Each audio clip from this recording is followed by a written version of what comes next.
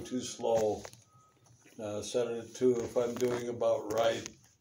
Set it at three if you think I'm going too fast. Oh yeah. And uh, so he could, you know, read the dials and uh, attempt to adjust the, uh, the the lecture. That was at Cal Poly.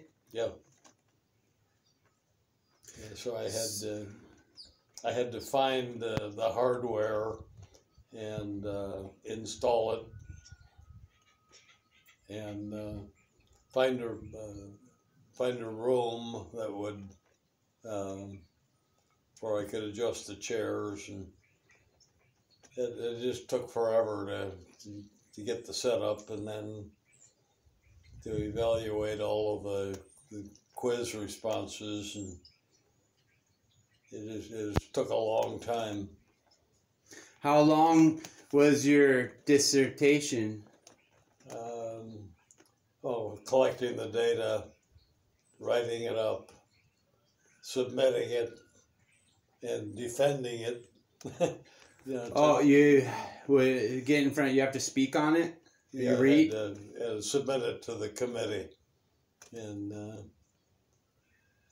then the committee would call you in and math? ask, ask additional questions. About is all about math, math. Uh, yeah. Man. It, uh,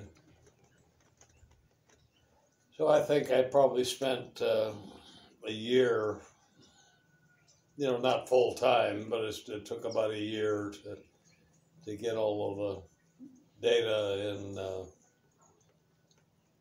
uh, do the write up on the dissertation. Wow. Gosh. It just, it took, it just took a long time. I've always I've always been pretty good with numbers, you know, as far as not taking it to 1% of the level you did, but generally I've, I've always been able to compute numbers pretty good, yeah.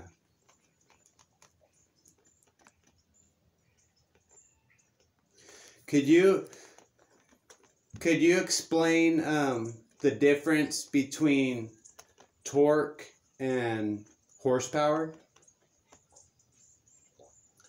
Um, the torque is the essentially force uh, at an angle, force from a distance, the amount of force multiplied by the distance. Uh, torque has, has to do with twist. Okay. Um, and the amount of force applied and multiplied by the distance yeah. equals the torque. And then what's and then and then the power is, is is the raw power going into the system. Yeah, they're related though. Yeah. Um. So there's. So if you're gonna move a move a car slowly from point A to point B, but then if you move it fast from point A to point B, it requires more power and more energy to move it fast. Right. Yeah.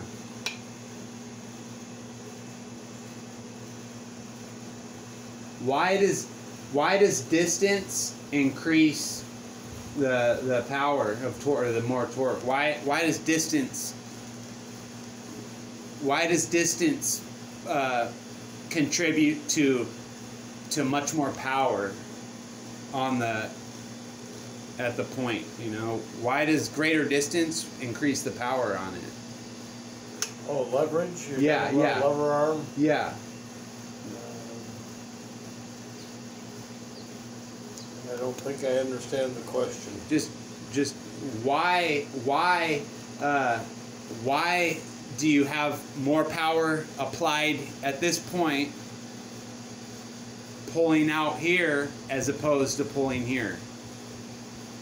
Uh, I, I kind of under, basically understand it, but I'd like to hear your description. Well, the the amount of the amount of force, you got a fulcrum and a lever. And uh, so the total total amount of force is going to be the same. Um, but you're putting the force on a, a longer distance. I don't know exactly how to explain it. But the, the length of the lever arm multiplied by the force that you're applying is going to be the same uh, over here. But this, you've got a shorter lever arm, so the, uh, the, the, the force times the distance is equal to the force times the distance. Times the distance. Okay. And, uh, Yeah. So with a shorter distance, it takes a greater force to balance out the distance and force over here. Uh, Archimedes So- said, give me a place to stand and a long enough lever and I'll be able to move the Move the world. Yeah. yeah, that's true. so, as far as gears, um, so if you have a smaller gear, up, smaller gear, a little bigger, a little bigger, and you're applying the power from the smaller side, you'll have more torque, right? But if you apply the power from the bigger side, you'll have more speed, Right. right? And by changing the number of teeth, will change your speed or your torque. Yeah, it's, it's more the, the diameter than it is the number of teeth. Yeah, okay. Yeah. Yeah. But there yeah, yeah. But you but with the same amount of power, so you're going to sacrifice the other one. You know, you're going to lose you're you'll lose uh torque and gain speed or you'll you'll gain speed and lose torque Right. because the same amount of power is applied. That's good stuff. What's the most difficult type of math? What's the most difficult type of math? Um, it depends on, uh, on your native ability. yeah. Uh, In your opinion. Yeah, uh, the toughest courses that I took were differential equations, but, Different what what's that mean? um, uh, let's see, how do I easily say it? Um,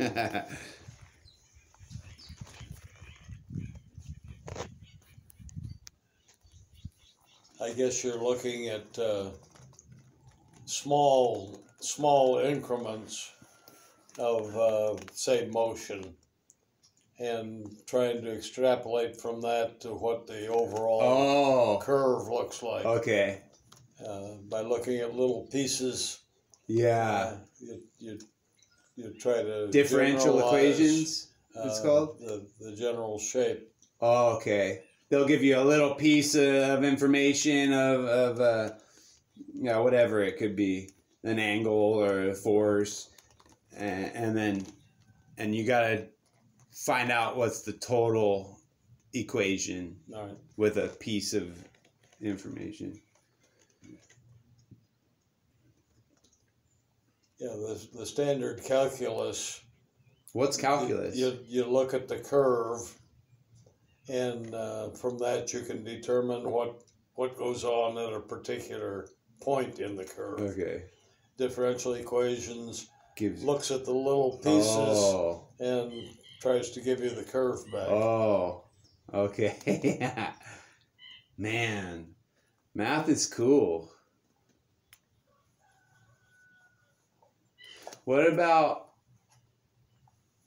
like on the quantum level, stuff starts acting way different, huh? On the what? On the quantum level, super small, a lot of the laws of physics aren't don't hold up. We haven't, haven't completely discovered all the laws Right. Okay. Yeah, that's what it is. that uh, our knowledge of uh, laws of physics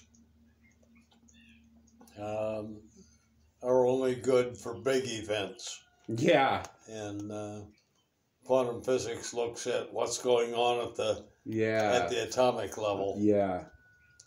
and that's not completely understood yet. Yeah.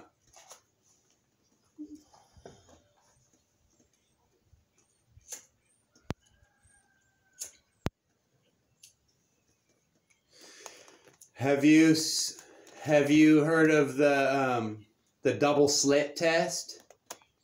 The double, Slit test, where they shoot uh, electrons through oh, the double slit. Yeah, through they shoot them through slits, and they and they'll act as as uh, waves or whatever. But then, by if you observe it, then they'll act like uh, solid particles. The, observing them changes their behavior. Yeah. Yeah, that's not completely understood yet. Yeah, In some ways, light will act like a wave, and other situations, it looks like particles. yeah. This yeah. How about how about uh?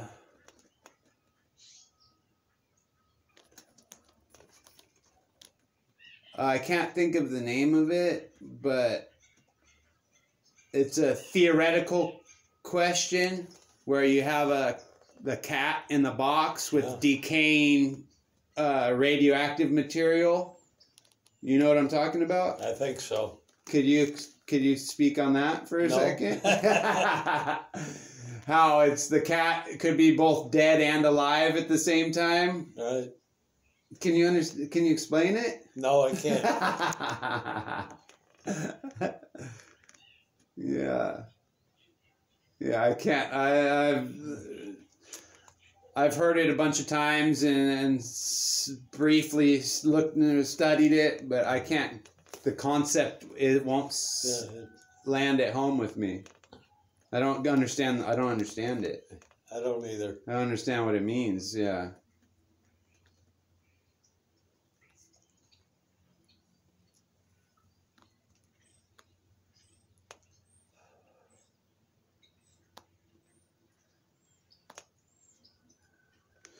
What do you think about uh, Tesla, the inventor? Do I think about the the guy Tesla? Yeah. What do you think about him? Is he? He was uh, very bright, but very hard to get along with. yeah,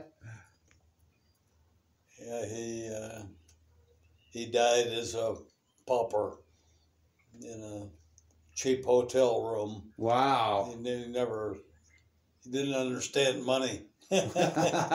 wow. Man. But a very bright guy. Yeah. Is Stephen Hawking still alive? I don't think so. He recently passed? Or how long? Yeah, I think Uh, I think he might be alive. I don't know.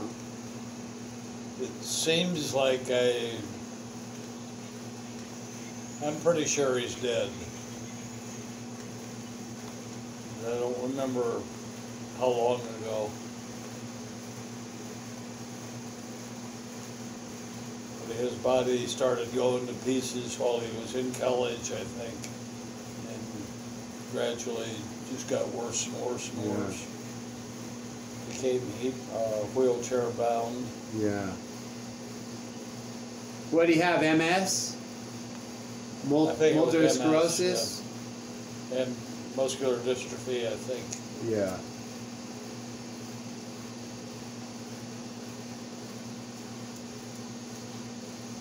Again, a very bright guy. Yeah.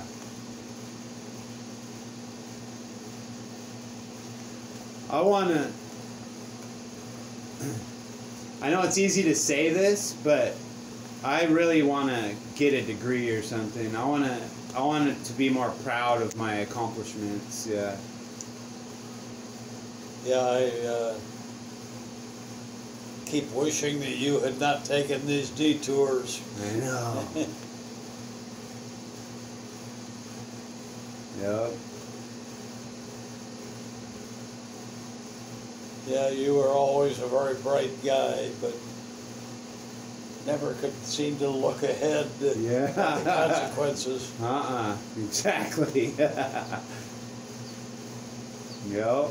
I need to steal these pallets, yeah. but uh, I'm, I'm sure that I'm never going to get caught, right? yeah.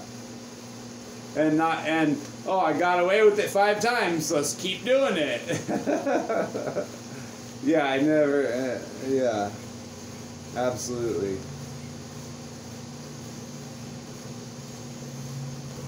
What?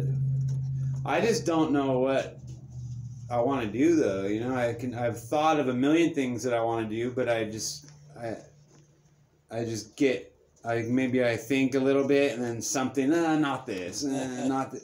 I just I just can't go all the way with anything. I don't know what to do or what I want to do. So I guess I'm just gonna keep breaking my back and sweating all day for a little pay and getting bossed around. Well, it's about time It's- for you to figure it out. yeah. yeah. Life goes by real quick. Yeah. And it just keeps speeding up. Yeah, it's going faster and faster the older I get.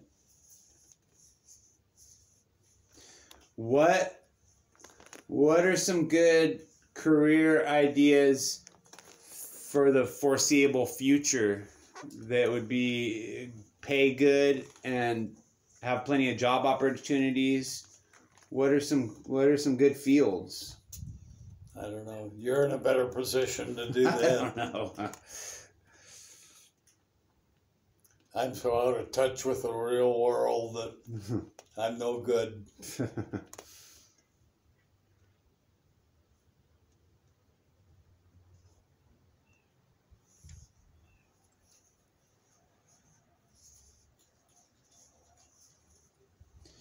Should I go? Let's go to. Should I go to a trade school?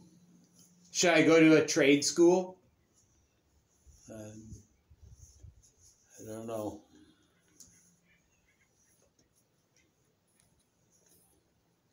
Hard questions. I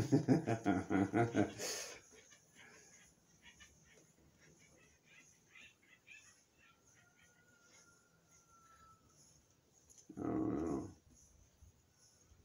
And for some reason, I always wanted to be a teacher. And uh, so that pretty well determined my path. Great. I wanted to, I wanted to teach, and if you want to teach, then you got to get an education, and so Did you always know you wanted to teach mathematics mostly? yeah, I think probably all the way back in my high school years, I wanted wanted to be a teacher. I took a little one year detour and went to uh, uh, case in engineering and uh, figured out that's not the direction to go. In engineering? right. Why? Why didn't you like that? I guess because my dad was an engineer, so I thought that's the thing to do, I guess. Yeah. That was the story of my dad. His dad was an engineer, and that's the way he went.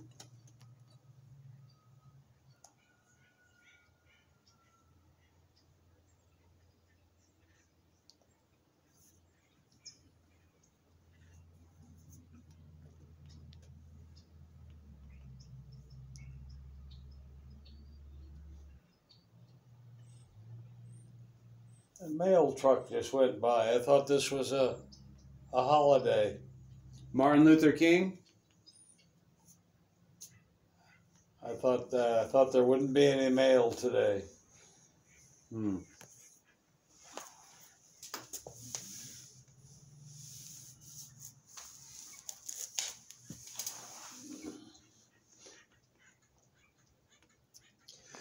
I wrote, a, wrote a card uh, to Daisy.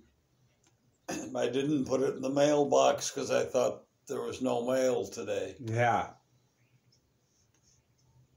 So I better go dump it at the post office, I guess. I could de- I could deliver it to her if you want Okay. today. I'm gonna see her. I'm gonna see her tomorrow, but maybe today also. Um, Yeah, I- she's complaining about being 37 years old. she split up with her boyfriend. Is it? Is it? Is it? Was it him that went into her place and stole? It had to have been. It had to have been. Absolutely, it was. He he took the money that it was his money, I guess, uh, a few hundred dollars. I think two or three hundred. He knew where that was at, so that's missing. Uh, Addison's iPad that he gave to her is missing, and he hit her where it hurts. Her mountain bike that she loves, and her helmet. No one else would take that stuff. It had to have been him, and no one's gonna go in the house and just. It, it- absolutely, it was him. Some somebody had a key, yeah, absolutely, it was him. so she changed, had the locks changed, and that cost her Oh, two hundred and fifty dollars or something.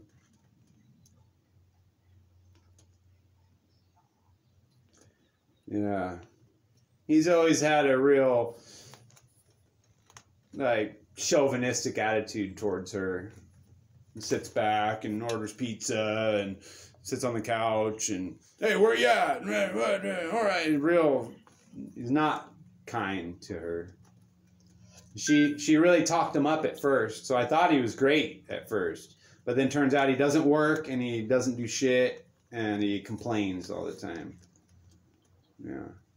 Yeah, she asked me for some money to bail him out of jail, and That I Oh. said no. how long ago was that? Year, maybe quite a while. It was that guy, the one that she's with now. I, I'm not sure which guy it was. Good. Yeah, I'm glad you said no to that. I, I wasn't uh, wasn't about to put money up to bail him out. No, absolutely not. I rebuilt my carburetor on my motorcycle. I rebuilt my carburetor on my motorcycle. On Took it one? Yeah. Took it off, put new jets, put a new emulsion tube, and uh, new spring, and new new valve, new ball. Yeah, and it's noticeably more responsive, and and I got and it claims to have more horsepower, and I feel it. Yeah, a hundred dollars for a great upgrade. Yeah, and the Dynojets, it's not a, you can't buy it in California, so I had it shipped to Missouri. My friend in Missouri, and then he sent it to me.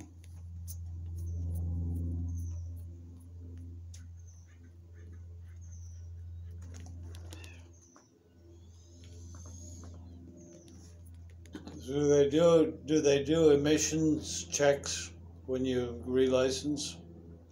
I don't know. Now on the car, I've got to have emissions checked uh, to renew the license plates.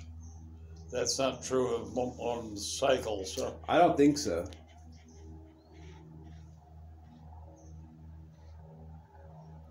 there goes the mail truck again. what the hell's going on? I want to get a I want to get a faster bike already. You want a what? A faster bike. You can fall off of this one just fine.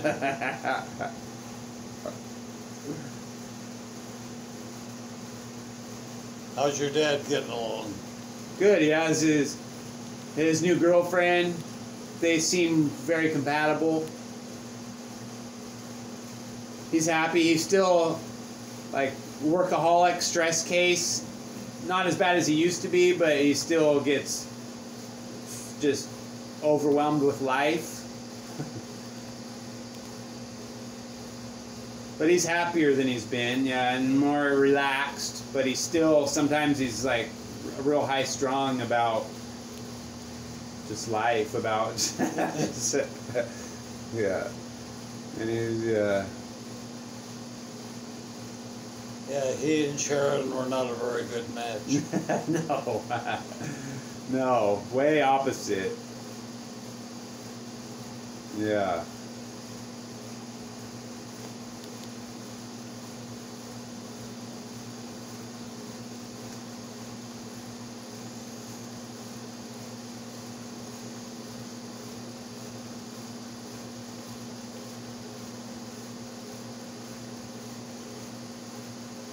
Yeah, I'm gonna.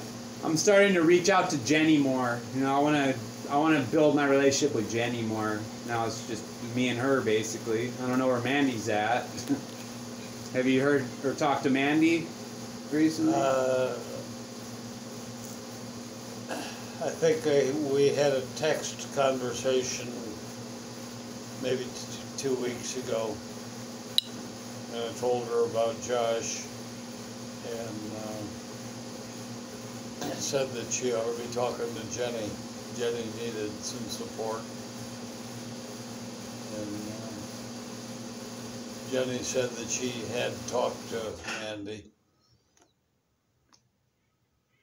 that Mandy's just always been kind of a mystery. Is she in town? Do you think? Uh, she's living over in Bakersfield. Oh wow. Wow. There's a lot of lot of lot of drugs in Bakersfield. What? There's a lot of drugs in Bakersfield. Yeah, she.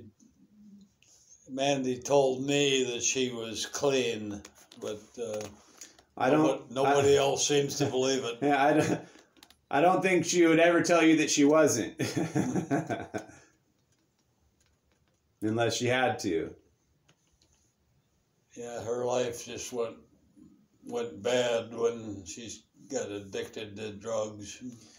Yeah, she doesn't have any kids. Uh, Uh, she's got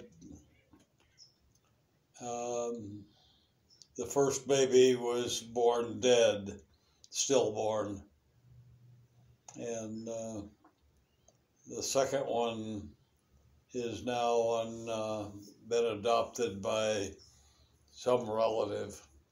So she she sees him regularly. oh, But, uh, how old is her son? Uh, I think he's just over a year. I think his first birthday was February, Yeah. so he's a year and a half or so. I haven't seen him.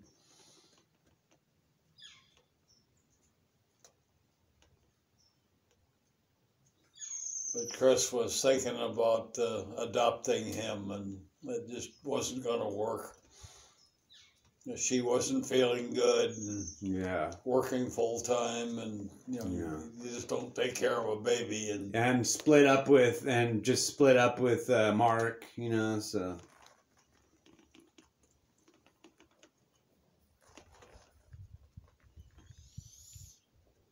know, he essentially was raised by foster parents that wanted to adopt him but uh, some relative of uh, Amanda's hus- uh, boyfriend uh, also applied for adoption, and um so the the boyfriend's um, relatives adopted him.